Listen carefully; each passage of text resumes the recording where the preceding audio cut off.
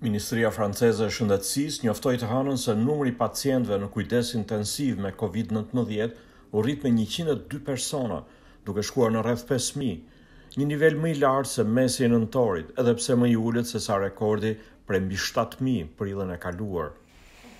Mjekët e njësive të kujdesit intensiv paralajmëruan se në javët e ardhshme gjendja pritet të rëndohet. Specialisti i sëmundjeve infektive, Gilles Pialoux, tha se tani spitaleve do të duhet të zgjedhin mes pacientëve se cilat operacione do të shtyhen. Në njësitë e kujdesit intensiv ka një mbingarkesë prej katërqind për qind.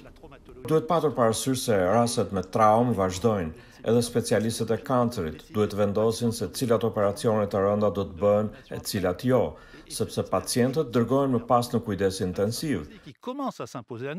Për të qenë konkret, ne kemi në plan të mbyllim gjysmën e sallave të operacionit, që do të thotë se kirurgët do të duhet të zgjedhin mes dy personave se cili do të operohet, thotë doktor Pialoux.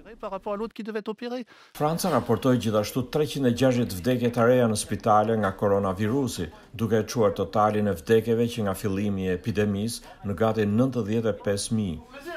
Shkencëtarët thonë se masat e pjesshme të bllokimit nga ana e qeverisë që synojnë zonat me infeksion të lartë si Parisi janë të pamjaftueshme ndaj varianteve të reja me përhapje të shpejtë. Sipas mjekëve, ne do të jemi nëntëdhjetë për qind të imunizuar. Jo keq, Por ka njerëz që do të vdesin, njerëz që nuk janë të imunizuar, thotë George Gonzalez. Ministrja e Punës, Elisabeth Borne, e cila është shtruar në spital me Covid, tha se ndihej e rraskapitur nga sëmundja, pasi kishte patur probleme me frymëmarrjen dhe nuk ishte në gjendje të hante ose të pinte.